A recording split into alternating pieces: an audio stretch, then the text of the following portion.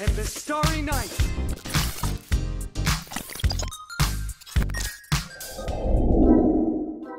Shadow Twin Blades ini merupakan item uh, serangan yang baru ya dan cocok pakai untuk hero-hero yang punya serangan magic attack ya atau serangan magic. Nah, sebagai item baru, Shadow Twin Blades memperlihatkan kemiripan dengan cara kerjanya BOD ya dari kemampuan pasifnya. Tapi Shadow Twin Blades ini terbilang lebih kuat karena punya kemampuan slow yang jauh lebih besar. Nah, umumnya Shadow Twin Blades ini cocok dipakai oleh hero mage atau assassin yang juga mengandalkan basic attack untuk menghasilkan damage tinggi.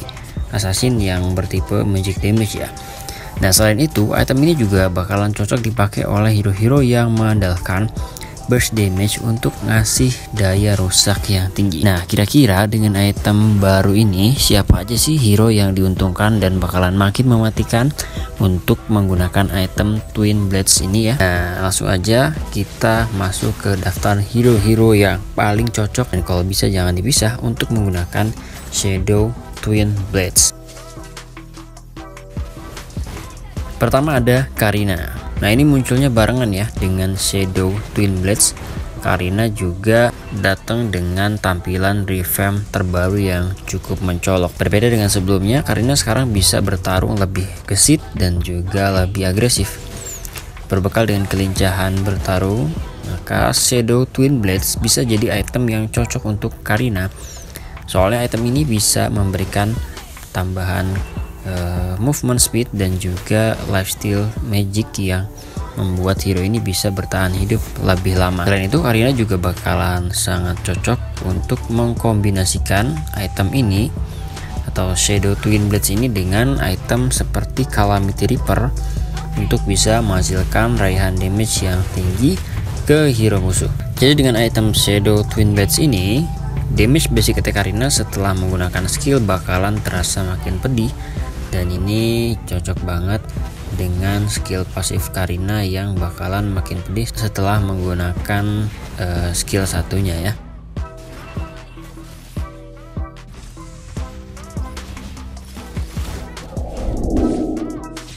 Nah berikutnya nasi dari role assassin tipe serangan magic lagi yaitu Gusha. Ini merupakan hero assassin yang sangat bergantung ke magic attack ya untuk ngasih tingkat burst damage yang tinggi. Gaya main yang cukup adaptif Gushen bisa bertarung lebih barbar ataupun juga lebih teratur. Ya sebenarnya apa pun gaya mainnya maka Shadow Twin Blades ini bisa jadi item yang sangat cocok dan tepat banget untuk meningkatkan performa pertarungan dari hero fast hand yang satu ini. Soalnya item ini sangat bersinergi dengan skill set yang dimiliki oleh Gushen sebagai seorang assassin, Lucian diharuskan mampu menghabisi hero musuh dengan tempo yang seksama dan dalam tempo yang sesingkat-singkatnya. Dan dengan kemampuan pasif dari Shadow Twin Blades, Lucian bisa menginisiasi serangan ke satu hero musuh dengan sangat efektif. Selain itu, efek slow dari kemampuan pasif item ini bisa meningkatkan keakuratan Gushen dalam melempar dagger miliknya. Jadi nggak mengherankan kalau nanti Gushen kembali jadi meta dengan hadirnya item ini. Berikutnya, Kaja. Kaja bisa jadi hero yang sangat mengerikan kalau ditempatkan sebagai set laner tentunya dengan item barunya yaitu Shadow Twin Blade sebagai salah satu item core atau item wajib untuk Kaja. Soalnya kemampuan pasif Kaja sekarang sangat cocok dengan efek pasif item baru ini karena sama-sama bisa meningkatkan damage dari basic attack. Nah selain itu Kaja juga dikenal sebagai hero dengan poke damage yang cukup ngeselin berbekal dengan skill Ring of Order Kaja bisa memberikan kerusakan yang cukup tinggi untuk musuh yang berada di area serangannya. Nah, dengan begitu, kalau Kaja mengantongi Shadow Twin Blades, Kaja bisa dengan mudah memberikan tambahan poke damage ketika hero musuh terkena efek slow dari Ring of Order. Kaja bisa masuk untuk memberikan basic attack tambahan sebagai damage tambahan ya. Apalagi hit yang dihasilkan oleh Ring of Order ini bisa ngurangin cooldown pasif Kaja yang bisa meningkatkan damage dari basic attack Makanya dengan as item Shadow Twin Blades ini dijamin performa Kaja bakalan lebih maksimal dan lebih mematikan lagi. Berikutnya ada Sylvana. Nah, kalau dimainkan sebagai laner, kalian bisa memaksimalkan potensi Shadow Twin Blades ini pada hero Sylvana. Kombinasi efek slow dari Shadow Twin Blades dengan skill Spiral Stangeling merupakan kombinasi serangan yang sangat mematikan ya. Ketika terkena efek slow, hero musuh bakalan cukup sulit untuk menjauh dari jarak putaran tombak milik Sylvana. Hingga heran kalau damage dari Sylvana bisa dimaksimalkan dengan melancarkan kombinasi attack dari skill sodok-sodoknya dan juga dengan kombinasi basic attack yang punya efek pasif dari item Shadow Twin Blades tadi. Selain itu sebenarnya Sylvana juga tergolong sebagai hero yang sangat efektif untuk menggunakan Shadow Twin Blades ya. Selain karena kombinasi skillnya tadi, Shadow Twin Blades juga bisa meningkatkan damage yang dihasilkan melalui skill Chromatic Lens milik Sylvana. Dengan kemampuan dari pasif Shadow Twin Blades ini tentunya performa Sylvana bakalan lebih jauh meningkat dan lebih maksimal saat puzzle landing maupun saat team fight.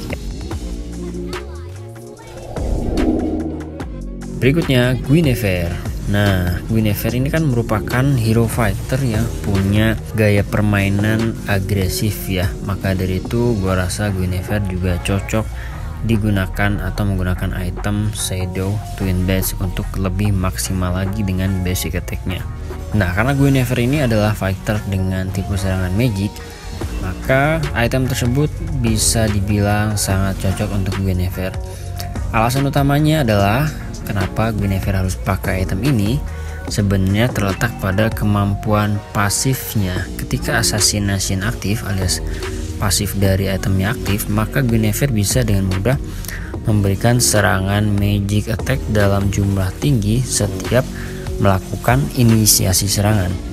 Nah, dengan bantuan skill uh, spatial migration, Guinevere bisa melompat dan melakukan basic attack ke hero musuh. Jadi dijamin hero musuh bakalan mendapat damage yang tinggi dan kesulitan untuk kabur karena juga efek dari item ini punya efek slow ya.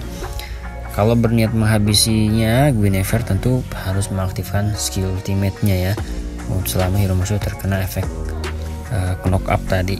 Jadi kesimpulannya untuk Guinevere kalau menggunakan item ini selain musuh lebih susah untuk kabur, Guinevere juga bakalan lebih mudah untuk mengarahkan skill dan memaksimalkan damage dari serangan ya berkat efek slow dan uh, efek peningkatan basic attack dari item Shadow Twin Blades tadi.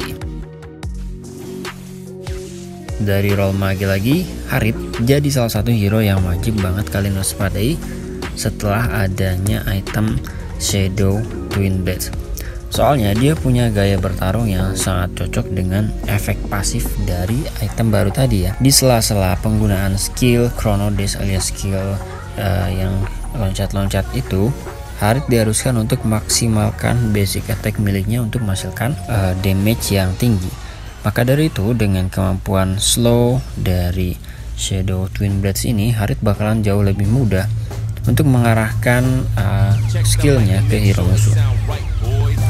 Selain itu, Harit juga bisa menjaga momentum serangan tanpa harus takut kehilangan jarak serangan. Soalnya, hero musuh yang udah terkena kombinasi skill dan juga efek slow tinggi dari Shadow Twin Blades ini terbilang bakalan cukup sulit untuk melarikan diri dari serangan Harit. Apalagi kalau ultimate-nya udah aktif ya.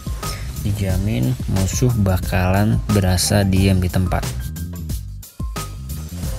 dan yang terakhir Harley. Ini merupakan hero yang punya kemampuan poke damage sekaligus mampu menghasilkan burst damage yang sangat mematikan walaupun single target. Nah, kalian bisa memaksimalkan potensi serangannya dengan menggunakan item Shadow Twin Blades. Ini bisa jadi pilihan item serangan yang sangat tepat untuk hari, uh, sorry Harley ya. Soalnya Shadow Twin Blades bisa dikombinasikan dengan skill ultimate-nya yaitu Deadly Magic alias cincin setan.